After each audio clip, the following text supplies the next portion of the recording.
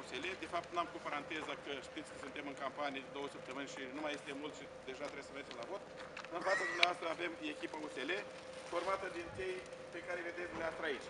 Prin urmare, pentru alegerile din 9 decembrie, la Camera Deputaților va candida și candidează domnul Costică Șoptică Costel, eh, reprezentantul USL-ului, iar la Senat este ca și candidat domnul Șerban Mihailescu, dar ca o paranteză, dumnealui fiind ocupat în continuare încă cu acele probleme pentru deschidere sau redeschidere spitalului, ca reprezentant îl avem din partea dumnealui pe domnul Mare Budăi. Totodată aici sunt consilieri locali, consilieri județeni și toți cei pe care dumneavoastră îi cunoașteți. Stimați cetățeni, înainte de a vă da cuvântul, știu că dumneavoastră aveți anumite probleme de ridicat sau de pus pe tapet. Aș dori, după ce noi terminăm de spus ceea ce avem de spus, să ne puneți întrebările pe care noi considerăm că le avem și pentru care candidații noștri trebuie să ne dea răspunsul la momentul oportun. Domnule Șoptic, vă rugăm să vă prezentați în fața candidaților sau electoratului Dărăbănean. Mulțumesc, domnule primar. Vă mulțumesc dumneavoastră, doamne și domnule, că v-ați făcut timp, într-adevăr, într-o zi duminică să mă ascultați. De aceea spun să rămâne la Doamne și caut încă o dată Domnul. Deoarece candidez, într-adevăr, pe listele USL-ului la Camera Deputaților uh, și cu această ocazie vă invit să veniți în 9 decembrie să votați la Camera Deputaților Costel Șoptică din partea USL, la Senatul României Șerban Mihailescu, tot din partea USL. Uh, am venit în fața dumneavoastră în primul rând pentru a mă prezenta, pentru că am văzut și pe media și pe mai multe canale că nu toți oamenii mă cunosc și de aceea sunt aici să vă adresez câteva cuvinte. Eu uh, mă simt și cred că sunt de al dumneavoastră și o să vă spun imediat și de ce. Sunt născut în comuna Suharău și am trăit în satul Sumărdat.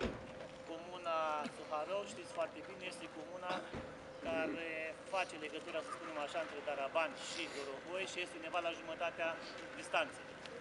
Vreau să vă spun încă de la bun început, înainte să povestesc mai multe despre mine, că noi în Colegiul Daraban avem inclus un număr de 16 comune și orașul Daraban. Comunele sunt Suharău, Cudești, Concești, orașul Daraban, bineînțeles, Băltiniști, Rădăuți, Brut, Mitop, Coțușca, de partea elaltă Adășeni, Avlămeni, uh, până la Vlăsinești, acolo lângă Săveni, uh, Vorniceniu, Cordăreniu, după aceea comunele, să spunem așa, în mijlocul centrale ale colegiului, Havărna, Milianca, Drăgușeni și Vișoara. Deci iată că fiind născut la Soharău, consider că sunt de al dumneavoastră și sunt de al locului. Ce este important de reținut? Eu m-am născut într-o familie simplă de oameni gospodari din satul Sumădan. Acolo am făcut primii pași, acolo am făcut școala, am terminat liceul la Dorohoi, iar în 1990 facultatea la Iași. Am ajuns profesor de fizică și chimie, m-am întors în satul natal, am predat 2 ani la Sumădan, alți 2 ani la Botoșani și alți 6 ani am fost și director coordonator și am fost și la catedră în Comuna Gorbănești, tot în județul Botoșani, undeva lângă Trușești. Odată cu, să spun așa, mersul la catedră, eu încă de mic am fost învățat să muncesc suplimentar și am dezvoltat, ca să zic așa, tot felul de afaceri, mai mici sau mai mari. Am început cu agricultură, cu câteva tractoare, combină pentru creierat. După aia am făcut chiar la Smărdan, aici la noi în colegiu, o presă de ulei, o moară, iar în anul 2000 am dezvoltat o afacere mai mare, în sensul în care am deschis o fabrică de modul. Acela a fost un moment de răscruce, ca să zic așa, pentru că atunci a trebuit să iau decizia, rămân la catedră sau merg în afaceri.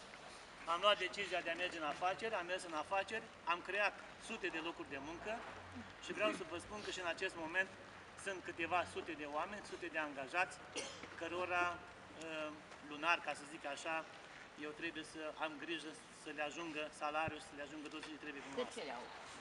Am făcut aceste prezentări până în prezent pentru a înțelege cine sunt, cum sunt și pentru a vă spune că eu cred că am în acest moment experiența necesară pentru a vă reprezenta pe dumneavoastră în Parlament.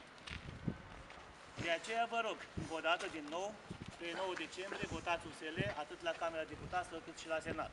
Este poziția a treia pe buletinul de vot. Acum, legat de modul în care gândesc eu, vreau să vă spun că fiind un om, așa zic eu, născut într-o familie simplă, atunci și eu sunt un om simplu, dar cu cinste, cu demnitate, cu onoare și de aceea vin în fața dumneavoastră să mă prezint, dar cu promisiuni doar, să zic așa, elocvente, eu fiind un individ care mă țin de promisiuni și pentru care fapta contează mult mai mult decât promisiunea. Și atunci o să o iau puțin invers. Încep deja cu faptele care se văd prin implicarea mea la Darava. Una dintre aceste care s-au materializat de curând este legată de deschiderea spitalului. Știți cu toții, s-a redeschis, s-a parafat deja pentru o hotărâre de guvern de deschiderea spitalului. Mai sunt câțiva pași de aici încolo, de natură tehnică de această dată, pentru ca acest lucru să fie finalizat. Și dumneavoastră trebuie să știți acest lucru. Un alt lucru care am înțeles că se materializează săptămâna care urmează este intervenția mea la directorul de la apă și în urma acestei intervenții s-a adus, s-a montat o pompă nouă, astfel încât calitatea presiunii specială pentru a avea apă la dumneavoastră să fie mai, mai bună.